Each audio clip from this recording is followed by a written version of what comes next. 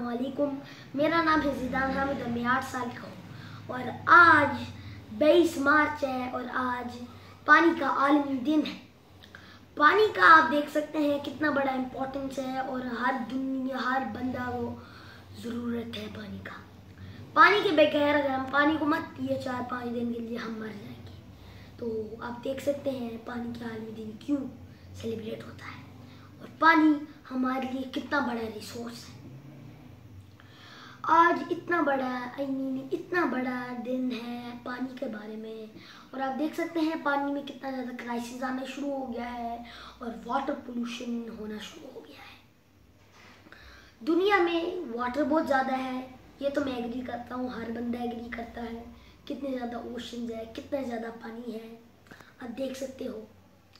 लेकिन एक big big problem है it is undrinkable to put that into perspective ये एक जग पानी है ये सारा बल्ज एरियाज़ के अंदर इतना तक ये है पूरा ओशियन वाटर 97.5 परसेंट जो सॉल्टी और अनड्रिंकेबल है ये सारा ग्लेशियर में फ्रोजन है पानी ये सारा और फ्रेश वाटर पता कितना होगा फ्रेश वाटर ये जो डिस्पेंसर वाले वाटर होते लेकिन जो जो हम पीते हैं पता है कितना है?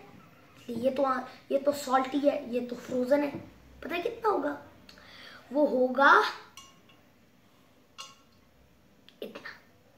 एक चाय का चम्मच, यानी कि 2.7 percent of water in the world is drinkable और देखो हम क्या कर रहे हैं। वाटर पोल्यूशन वेस्ट हो रहा है।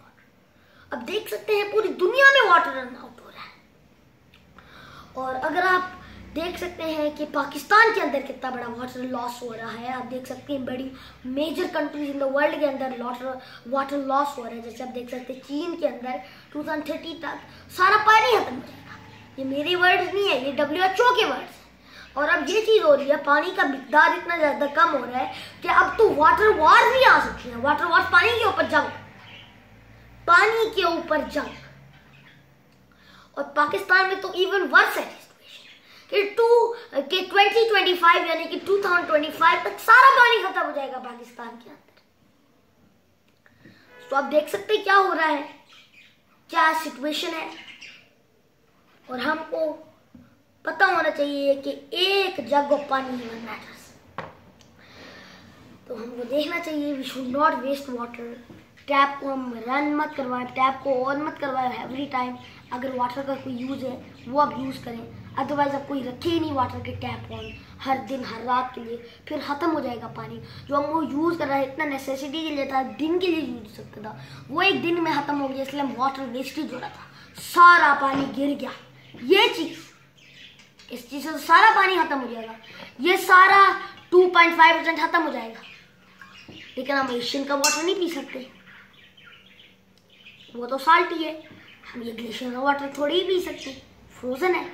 हम सिर्फ़ ये 2.5 परसेंट पी सकते हैं। हम इतने छोटे हैं और हम इस एक लेक के अंदर हैं। इस लेक को हमने रिसोर्सफुल और यूज़ करना है इस लेक को। और हमने इसको सारा ख़त्म नहीं कर देना। ख़त्म। नहीं कर देना। इस लेक को नहीं ख़त्म कर देना। तो आप देख सकते हैं क्या इफ़ेक्ट्स हैं? हम देख सकते हैं हमारा रिस्पॉन्सिबिलिटी है। It is our right it is our responsibility we have to see के what is happening it is our responsibility to do what we can do because we have we can do what we can do like we can turn off the taps we can save water we while brushing our teeth we should not turn on we should not keep the tap turned on every time. We should only take two minutes in the shower not take so much minutes that all the water is wasted. We should take these steps it's a responsibility. We can take these steps we will save our life.